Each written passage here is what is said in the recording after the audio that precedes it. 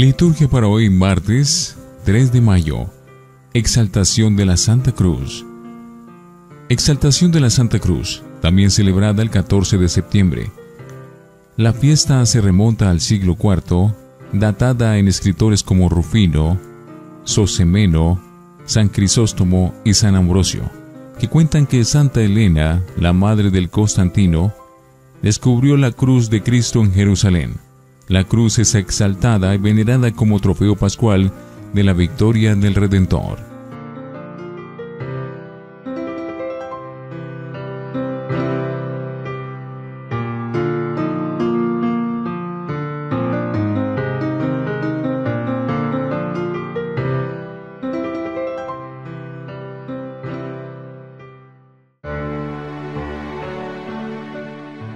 Antífona nosotros hemos de gloriarnos en la cruz de nuestro Señor Jesucristo. En Él está nuestra salvación, nuestra vida y nuestra resurrección. Él nos ha salvado y nos ha liberado. Aleluya. Gloria a Dios en el cielo, y en la tierra paz a los hombres que ama el Señor. Por tu inmensa gloria te alabamos, te bendecimos, te adoramos, te glorificamos. Te damos gracias, Señor Dios, Rey Celestial Dios Padre Todopoderoso, Señor Hijo único Jesucristo, Señor Dios, Cordero de Dios, Hijo del Padre. Tú que quitas el pecado del mundo, ten piedad de nosotros. Tú que quitas el pecado del mundo, atiende nuestra súplica. Tú que estás sentado a la derecha del Padre, ten piedad de nosotros, porque solo tú eres santo, solo tú Señor, solo tú Altísimo Jesucristo con el Espíritu Santo, en la gloria de Dios Padre. Amén. Oremos. Oh Dios, que quisiste que tu unigénito sufriera la cruz para salvar al género humano, concede quienes conocimos su misterio en la tierra, alcanzar los premios de la redención en el cielo. Por Jesucristo nuestro Señor. Primera lectura de la carta del apóstol San Pablo a los Filipenses capítulo 2, versículos 6 al 11. Cristo Jesús, siendo Dios, no consideró que debía aferrarse a las prerrogativas de su condición divina, sino que, por el contrario, se anonadó a sí mismo tomando la condición de siervo, y se hizo semejante a los hombres. Así, hecho uno de ellos, se humilló a sí mismo y por obediencia aceptó incluso la muerte y una muerte de cruz. Por eso Dios lo exaltó sobre todas las cosas y le otorgó el nombre que está sobre todo nombre, para que, al nombre de Jesús, todos doblen la rodilla en el cielo, en la tierra y en los abismos, y todos reconozcan públicamente que Jesucristo es el Señor, para la gloria de Dios Padre. Palabra de Dios. Te alabamos, Señor. Salmo 77 El Señor es mi pastor, nada me falta. Escucha, pueblo mío, mi enseñanza, presten oído las palabras de mi boca. Abriré mi boca y les hablaré con parábolas. Anunciaré lo que estaba oculto desde la creación del mundo. El Señor es mi pastor, nada me falta. Cuando Dios los hacía morir, lo buscaban y madrugaban para volverse hacia Él. Se acordaban de que Dios era su auxilio el Dios Altísimo, su Redentor. El Señor es mi pastor, nada me falta. Lo adulaban con su boca, le mentían con su lengua, su corazón no era sincero con él, ni eran fieles a su alianza. El Señor es mi pastor, nada me falta. Pero él sentía compasión de ellos, les perdonaba su culpa y no lo destruía. Muchas veces dominó su ira y apagó el furor de su cólera. El Señor es mi pastor, nada me falta. Aleluya, aleluya, aleluya. Te adoramos, oh Cristo, y te bendecimos, que por tu santa cruz redimiste al mundo. Aleluya, aleluya, aleluya. Del Santo Evangelio según San Juan. Capítulo 3, versículos 13 al 17. En aquel tiempo, Jesús dijo a Nicodemo, Nadie ha subido al cielo sino el Hijo del Hombre, que bajó del cielo y está en el cielo. Así como Moisés levantó la serpiente en el desierto, así tiene que ser levantado el Hijo del Hombre, para que todo el que crea en Él tenga vida eterna. Porque tanto amó Dios al mundo, que le entregó a su Hijo único para que todo el que crea en Él no perezca, sino que tenga vida eterna. Porque Dios no envió a su Hijo para condenar al mundo, sino para que el mundo se salvara por Él. Palabra del Señor. Gloria a ti, Señor Jesús. Oración universal. Jesucristo es el Señor para gloria de Dios Padre. Él es nuestro único mediador y sacerdote. Al ofrecer una vez y para siempre su sacrificio en la cruz, que el resucitado interceda ante el Padre por la iglesia orante en la tierra. Todos, escucha Padre nuestra oración, para que, por el poder de la cruz de Cristo, el Padre conceda a la iglesia la firmeza en la fe el valor de la esperanza, la entrega en el amor. Oremos al Señor.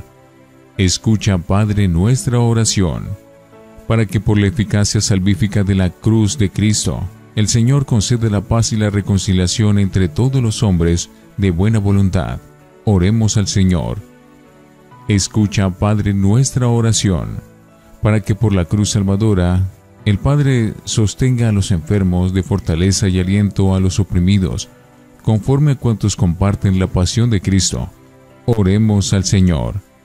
Escucha, Padre, nuestra oración, para que por la cruz redentora robustezca a cuantos predican el Evangelio en tierras lejanas y en los sectores más alejados de la Iglesia.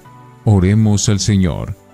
Escucha, Padre, nuestra oración, para que por la fuerza de la cruz del Señor el Padre otorgue a cuantos con ella hemos sido marcados con el espíritu de fortaleza y de paciencia, de paz y de amor. Oremos al Señor. Escucha, Padre, nuestra oración. Dios y Padre nuestro, que levantaste sobre todo a tu Hijo, obedientes a la muerte y una muerte de cruz, escucha la oración de todos los que creemos en Él y queremos seguir su camino de entrega de sacrificio por amor a ti y a nuestros hermanos. Por Jesucristo nuestro Señor. Amén. Oremos. Te rogamos, Señor, que este sacrificio nos purifique de todo pecado, pues en el ara de la cruz, tu Hijo canceló el pecado del mundo entero. Por Jesucristo nuestro Señor. Antífona. Dice el Señor, cuando yo sea elevado sobre la tierra, atraeré a todos hacia mí. Aleluya. Oración después de la comunión. Fortalecidos con ese alimento santo, te pedimos, Señor Jesucristo, que conduzcas a la gloria de tu resurrección a quienes redimiste por el madero vivificante de la cruz, tú que vives y reinas por los siglos de los siglos. Lección Divina. Oremos. Nuestra gratitud y adoración a ti, Jesús, que diste tu vida por nosotros en la cruz. Hoy proclamamos tu amor salvador y que en ti está nuestra salvación. Amén. Lectura. Esta fiesta de hoy permite a la Iglesia recordar el potencial salvador y liberador del sacrificio pascual de Cristo a través de la cruz, y al mismo tiempo nos compromete a todos a asumir dicha cruz como máximo proyecto de vida.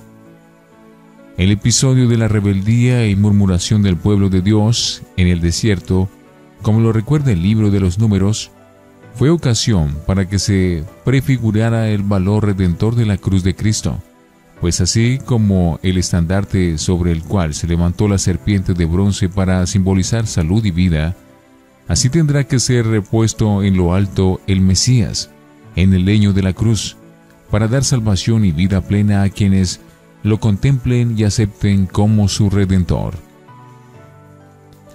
A menudo en el Evangelio de Juan, Jesús se refiere al hecho de ser levantado. Cuando hayan levantado en alto el Hijo del Hombre, entonces conocerán que yo soy. Juan 8:28 cuando yo haya sido levantado de la tierra, atraeré a todos a mí. Jesús daba a entender así de qué muerte iba a morir. Juan 12, 32, 33. También en los evangelios sinópticos Jesús anuncia a sus discípulos el misterio de su condena a muerte y muerte de cruz. En efecto, Cristo tenía que sufrir todo esto y entrar en la gloria. Lucas 24:26. Este misterio revela el gran amor que Dios nos tiene. Es el Hijo que nos es dado, para que quien crea en Él no perezca, sino que tenga vida eterna. Este Hijo a quien nosotros hemos rechazado y crucificado, pero justamente en este rechazo de nuestra parte, Dios nos ha manifestado su fidelidad y su amor, que no se detiene ante la dureza de nuestro corazón. Él actúa la salvación, a pesar de nuestro rechazo y desprecio, permaneciendo siempre firme en el propósito de realizar su plan de misericordia. Porque Dios no ha enviado a su Hijo al mundo para juzgar el mundo, sino para que el mundo se salve por él. El Evangelio de Juan insiste también en el valor simbólico que tuvo el episodio de la serpiente de bronce en el desierto. Como anticipo y prefiguración de la salvación ofrecida por Dios a la humanidad en el madero de la cruz, donde el crucificado dio su vida por la salvación de todos. La cruz se convierte en el signo y la cátedra más grande de amor. El Dios que envió a su Hijo, el amor del Hijo que es servicio y entrega y que dio su vida para darnos vida. En la cruz quedó demostrado el infinito amor de Dios por nosotros.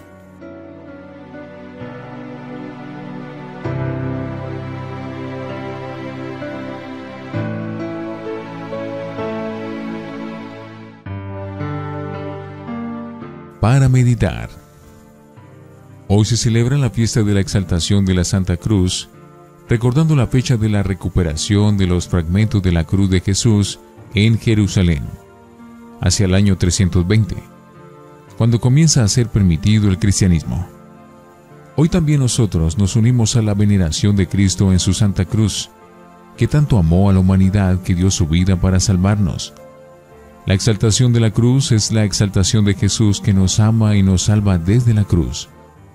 En ese amor inmenso e iluminado de Jesús, también está el amor por ti y por mí, porque también hemos sido salvados, liberados y sanados por su amor salvador. A Él nuestra gratitud, alabanza y adoración. Gratitud a Él, que dio su vida por todos, por ti y por mí. Solo en Cristo hemos sido salvados y amados de tal manera. Solo Él ha dado su vida en la cruz por nosotros. Solo Él nos ha amado hasta el límite. El Hijo del Hombre elevado es el único que puede manifestarnos la gloria y darnos a conocer al Padre. En Él se da el descendimiento de Dios hacia el hombre y la ascensión del hombre a Dios. Reflexionemos. ¿Qué significa la cruz en nuestra vida? ¿A qué nos invita y en qué nos compromete? ¿Qué aprendemos de la cruz de Cristo? Oremos. Padre bueno y misericordioso, que por amor nos diste a tu Hijo para que nos obtuviera la salvación, permítanos aprender el amor en la escuela de su cruz. Amén.